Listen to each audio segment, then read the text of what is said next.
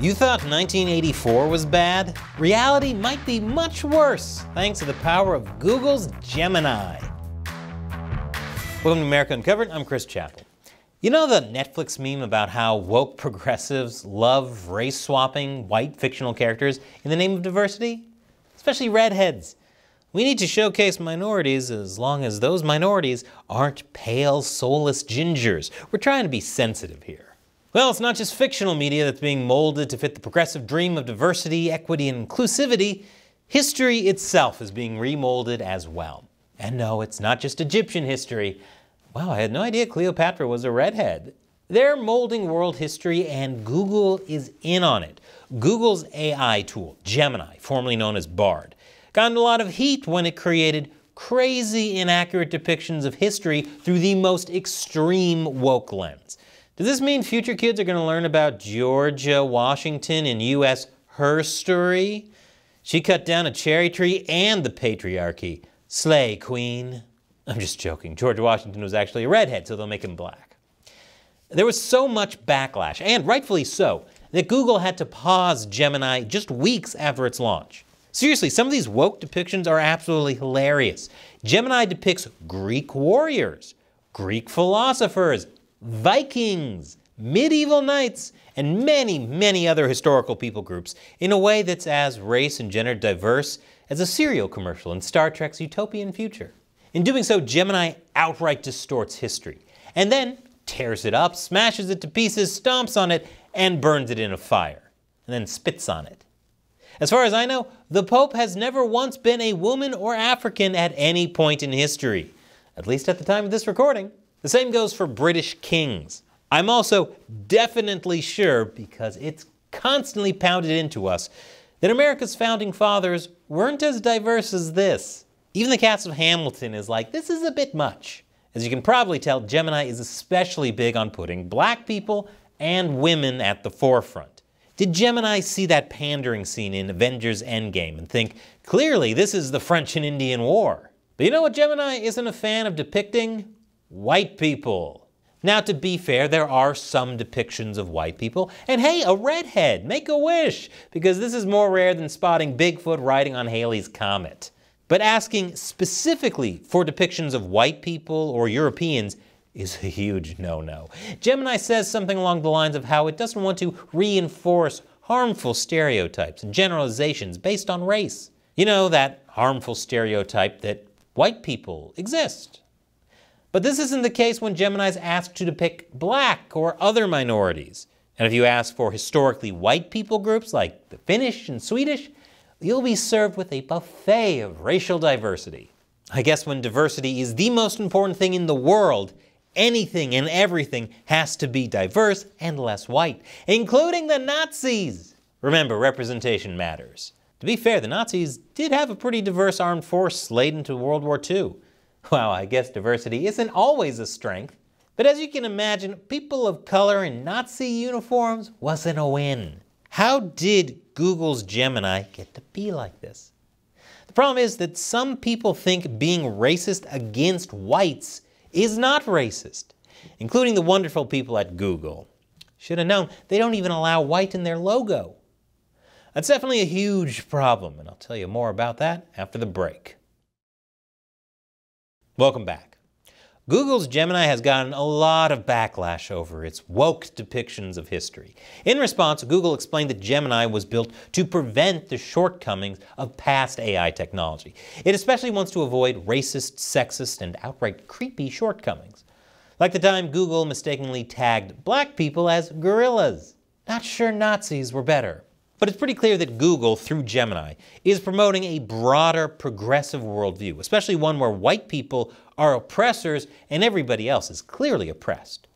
A leaked internal document created by Google employees called Anti-Racism Resources shows how Google employees embrace a worldview that sees reality in terms of systemic racism and white privilege. It's the same DEI that sees things through Marxist critical theory. And it's easy to see how this has affected the Gemini program, mainly because it snapped white people out of existence like it was Thanos. The head of Gemini said Google designed image generation capabilities to reflect our global user base while taking representation and bias seriously. This is similar to the way OpenAI created a system that generates images of people that more accurately reflect the diversity of the world's population. Minus white people. Feel like Gemini would show you a black person even if you asked them to depict a Ku Klux Klan member.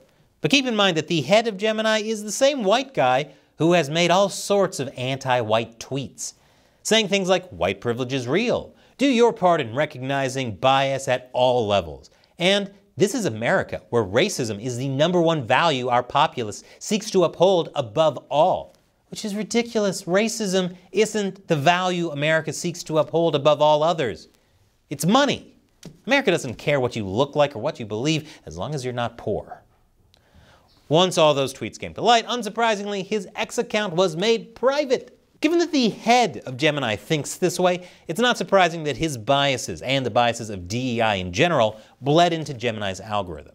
In practice, Gemini's goal of reflecting the world's diversity meant shoving aside white people and shoving diversity down people's throats. In doing this, it not only distorts history, but devalues white people as well.